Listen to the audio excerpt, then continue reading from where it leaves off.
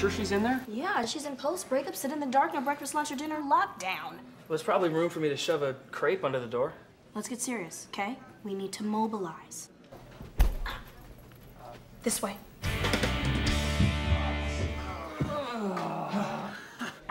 Jenny! Jenny! You're not gonna believe this. We got a keg of Gewunderschmacken beer. Yeah! Yeah! All right, Hey, tap that keg, man. I thought you had the tap. You have the tap. No, I know you. Hey, Jenny. I brought your great aunt Myrtle. Sweetie, I have a picture to put on your book face. It's Facebook.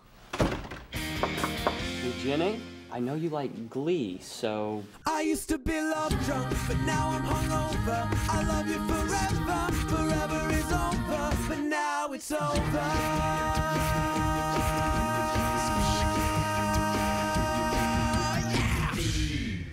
Who picked the song? Not me. You're the only one dancing. It was you. Not me. It was you. It was me. Sorry. Jenny, come on out. Look, I got your favorite little weird kid, Andy Milonakis. Mila who? Oh, a glee club. You guys know any Lady Gaga? I want your love and I want your revenge. You and me could write a bad romance. Gaga, ooh la la, want your bad. Ah, cut, cut. Jon Landau? Producer of Avatar? and Titanic. Listen, I know you mean well, but life is not a movie. If you have a friend you're worried about, go talk to her. Or get her to talk to somebody else. Or you go find someone who can talk to them. Go ahead.